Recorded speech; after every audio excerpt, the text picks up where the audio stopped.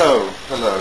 Good morning. Um, my name is Mark Weatherlake. I'm here from Dunster Wood Fuels. I'm a, a director in that company. And we're here to talk about the Vigas boiler. Talk about the running through and the lighting of the boiler. This is a 25 kilowatt boiler. I'm going to go through the lighting process um, of it and just to show you how easy it is and how good these boilers are.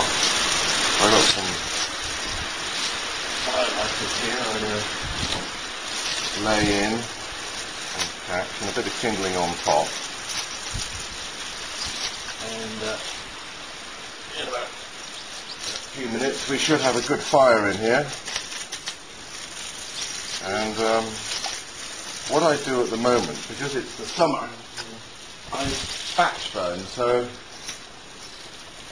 what that means is we light the boiler, get a good base going, fill it up with logs, and walk away. And the um, boiler does the rest. He looks after the the heating of the accumulator, and and I'll fill that with wood just before I, sh- I shut the door on it, and it'll put all the heat into that thousand litre accumulator.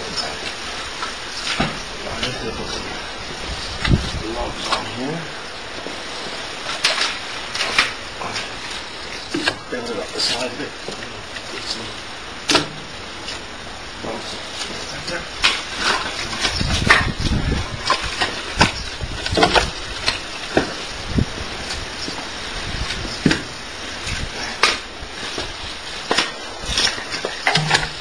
So there we are, I laid that in. I'll leave that now. I'll leave the top door slightly ajar. There. And I'll open that, the bottom door. Let a draft go through. Make sure. Better. Let the chimney catch the draft. There she goes. Um, so we'll just leave that for a few minutes now and I'll talk to you about the fuels in the boiler. Here we have various types of fuel here. So on the bottom we got the chip.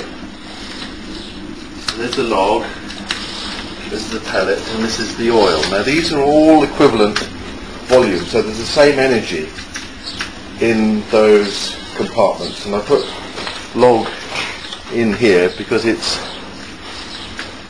between the density is between the pellet and the chip because there's got more air in it in there. But I mean, if you chip that, you would get the same quantity of chip in there, and that's the same amount of energy in those. So you can see the volume that you need, or equivalent volumes that you need. So you need a bigger space to, for your chip um, for your log you need slightly less and for your pellet you need slightly less and then this is oil for your oil tank. Um, the dryness of the log is very very important. Now the easiest way to check the fuel is with a moisture meter which I have just happen to have one here. It's very easy. Got two prongs here, gauge here, you put it into the into the into the wood and this moisture on this is mm, 17 18 percent which is ideal. These boilers need to run on fuel or logs which are drier than 25 percent. 20 percent is ideal. You get a nice burn. What I'm burning here is pine wood. This is out of the out of the woods um, and it's very cheap to buy. If you want it, the cheapest way is to buy a lorry load in and process yourself. That way you have control of your drying process. The length of the log is, uh, you can cut them up to uh, 18 inches, so it's a good handy sized log to chuck in. You'll burn about a very lar- a large wheelbarrow full every 24 hours.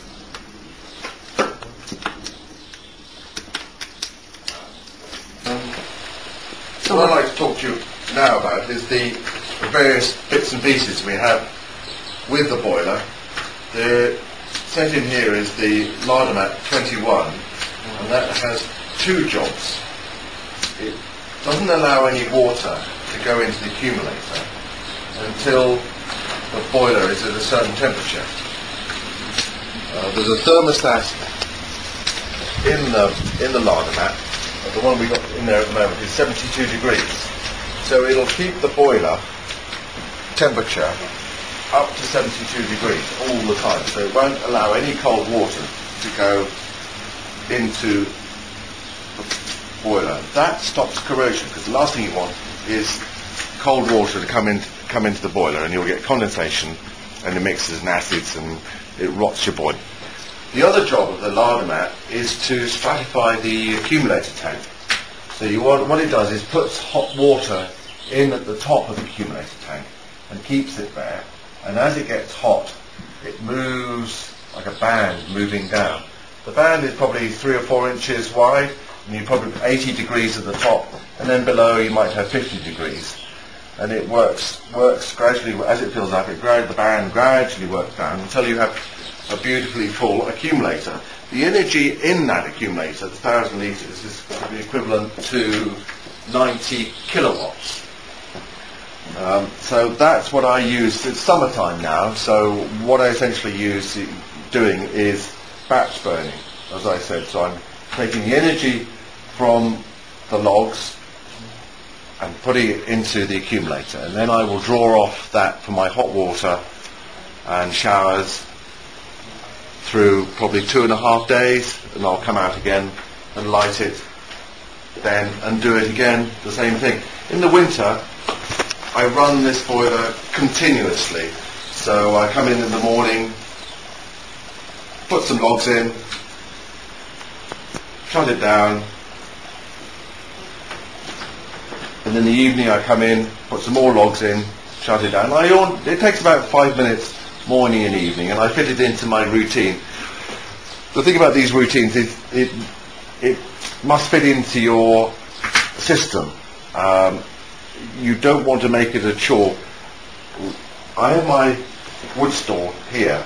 I can. I've got some nice big open doors in this garage. I bring the the trailer in. I can tip them up, and it's the logs are here. Very very easy for me to do. That is the secret.